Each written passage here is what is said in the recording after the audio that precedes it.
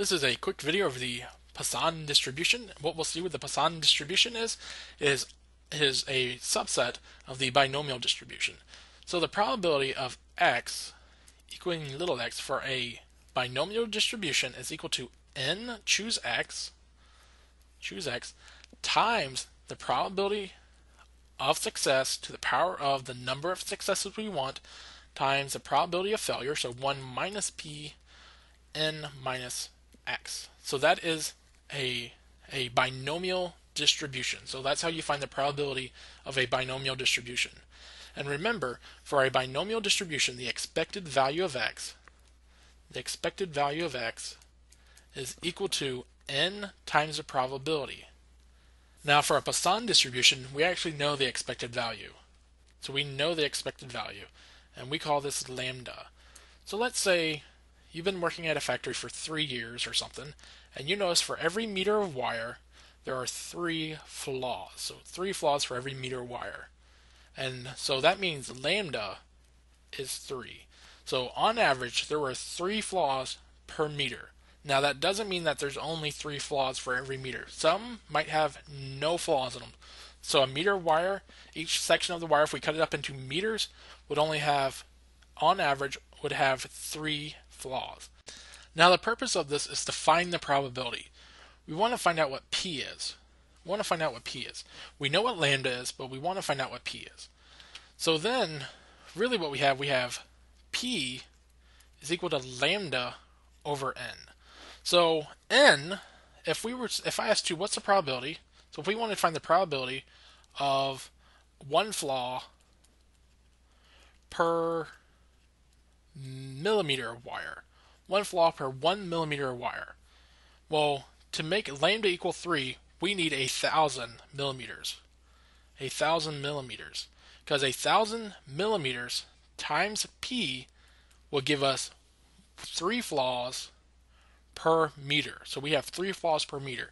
So n is equal to a thousand. n is equal to a thousand. Now the problem with that is, can we have can we have two flaws, two flaws in one millimeter of a wire? It's completely possible. So what we want to do is we want to go to a even smaller number. So we want to go where the probability of there being more than one flaw per section of wire is extremely small. So we'll might go to even a micron, where there are a thousand microns, crons or micrometers per millimeter. So that's extremely small. So that's a million. That's a millionth of a meter. So we can we can probably feel safe with there being no there being only one flaw per millionth of meter of wire. So that's a safe bet. So, but let's just be really safe. Let's just have n go to infinity. n go to infinity. So that means we're going to take the limit so what we're going to do is we know what p is. We know p is equal to lambda over n. And we're going to have n equal infinity. So if we plug this for p there and there, and then take the limit as n approaches infinity, we will have a Poisson distribution. So let's do that real quick. So this is now equal to the limit, the limit as n goes to infinity where n choose x, so we have we have n trials choose x, which will be infinity trials, and we're choosing x of them, times lambda over n to the power of x, 1 minus lambda over n to the power of n minus x. So now we have this, and now we have to actually take the limit and this is now just going to be a pure exercise of limits where we take something to infinity. And what we'll see is we actually get an e, actually get e to the negative of something, which is kind of impressive, and we get a whole bunch of other stuff. So this is now a game of limits. So let's just remember that if we have a limit of f, f, x, and gx, that is equal to the limit of just f of x times the limit of g of x, g of x. So we can actually break this apart into separate little pieces. So let's do that real quick. let's do that.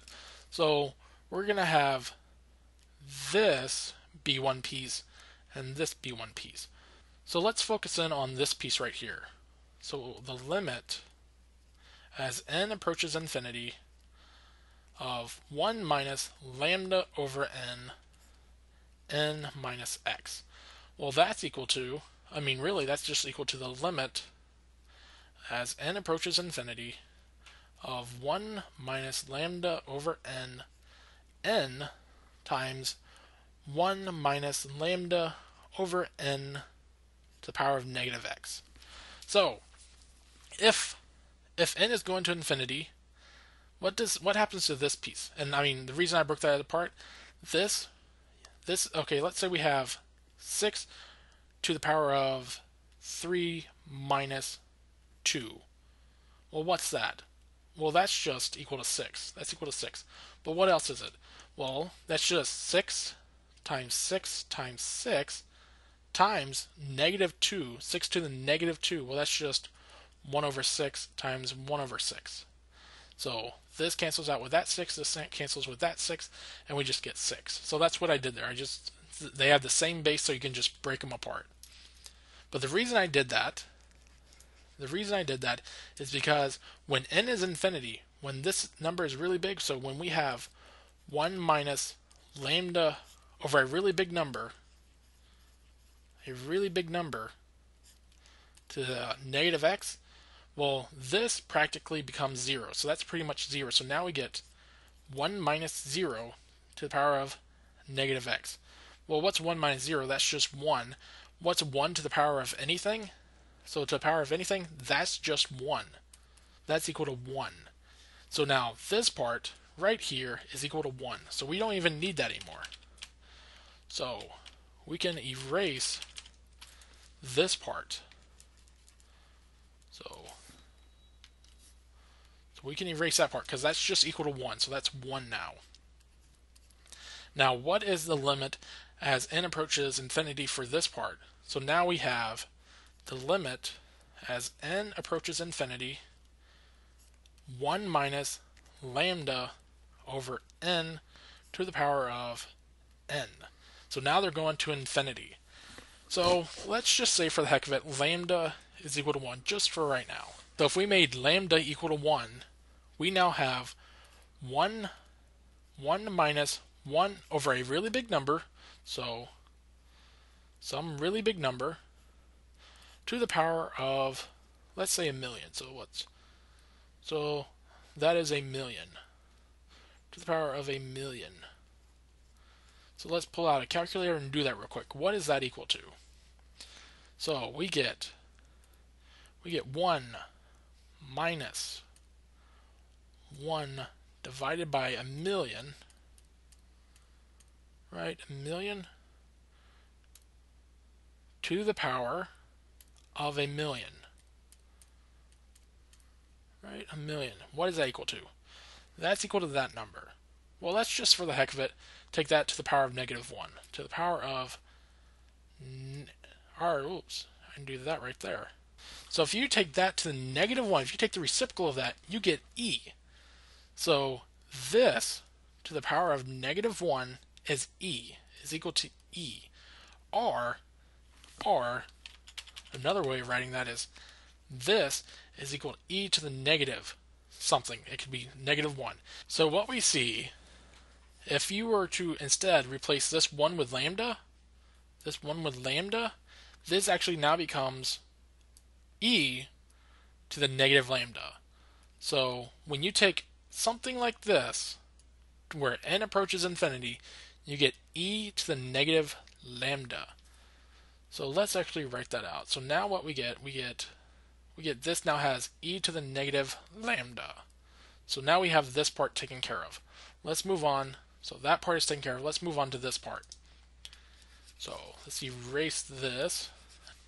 So now let's take care of this part. So now we have n choose x lambda divided by n to the power of x. Power of x.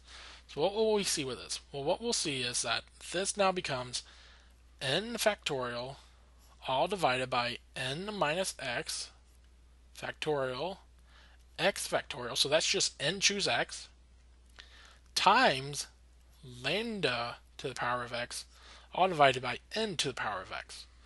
Now, this is again, this is all to the limit as as n approaches infinity. So I forgot to write that. That's supposed. This is also supposed to be right there.